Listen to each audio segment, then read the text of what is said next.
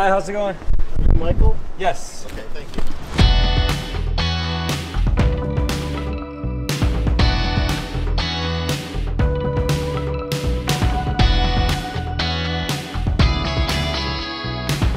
As you might have guessed, I am in Cleveland, Ohio. I'm actually out here finishing up a three week tour with Elevation. I've been out here teching for them. Today we've got a day off, so I'm checking out the Rock and Roll Hall of Fame.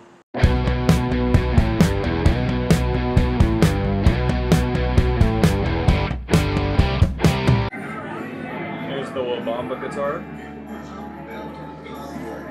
Cool. And it is just a cacophony of noise and music in here right now. I think I'm in between a few different things.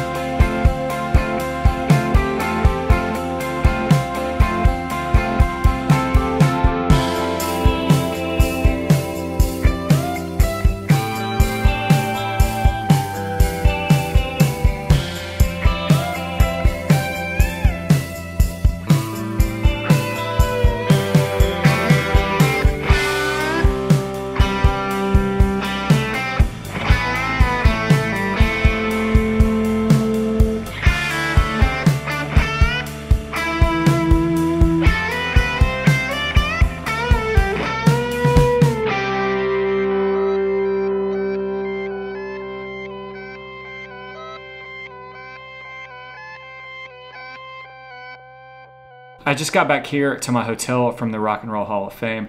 As you might guess, um, it's really loud in there. There's a lot of music being played all over the place, and um, you know, different video things and interview pieces being played all throughout it. So I wasn't able to get a lot of video of me going through it and talking about the different things. But as you've probably already seen up until this point, I'm going to cut in a ton of B-roll footage um, because I was able to get a lot of great video there. Overall, I was super impressed with it, and it's definitely worth the trip. Um, one cool thing is that I wasn't sure if I had just heard this and people say this or if it was actually true, but if you're a touring musician, um, you're on tour and you're in a band, you can get into the Rock and Roll Hall of Fame for free, which is very cool. Um, I showed them my pass and they, you know, asked me to kind of prove if I was on tour and all that stuff. And, um, and I was able to do that easily and they let me in. So, um, you know, props to them for that. that. I think that's really cool that they're allowing touring musicians to come in for free because they're essentially, you know, furthering rock and roll and furthering music. So some of the standout things to me were um, the Beatles exhibit, a Let It Be exhibit, kind of all about um, you know the making of that and the rooftop concert. They had John Lennon's Casino there, which is super cool to see in person. Um, there were also a couple of guitars, or I think there were three guitars uh, of Hendrix's.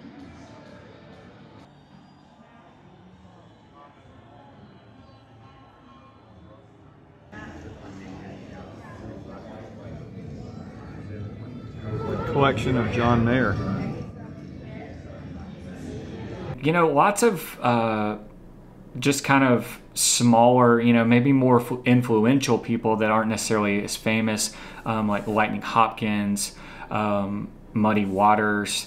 Uh, you know, just guitars and clothing, and then you know different contracts and letters and set lists and all that kinds of stuff, um, all throughout for all kinds of different people. They also had John Lennon's Mellotron that was played on Strawberry Fields that was super cool to see and it looked very different than you know the typical mellotrons that you have um, and it was cool you know to kind of be able to see into the back of it and see how it was built and everything um, normally you just kind of get to see the front of them and, and see what it looks like but uh, just being able to be that close to it and actually see it all was really cool. Of course, another super iconic guitar that they have there is a Les Paul that is Keith Richards um, that has the the paint on it. It's a Black Beauty with the three humbuckers.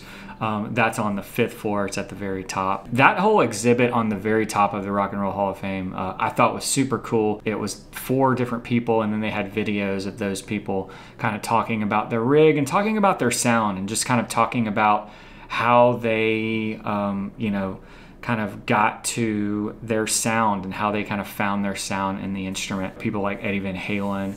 Uh, there was a, a, interview and a thing with him talking about tapping and Keith Richards as well as um, Tom Morello from Rage Against the Machine, uh, kind of talking about just finding his sound and um, you know his influences and all of that stuff. That that whole exhibit up at the very top I found really really interesting and just well put together. I mean everything there was super well done.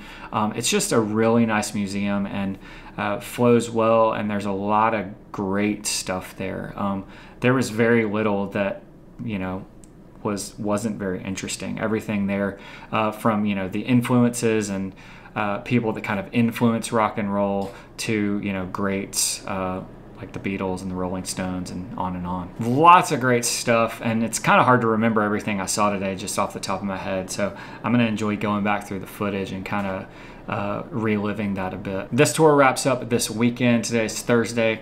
Our last show is on Sunday at uh, Radio City Music Hall in New York, and then I will fly home on Monday.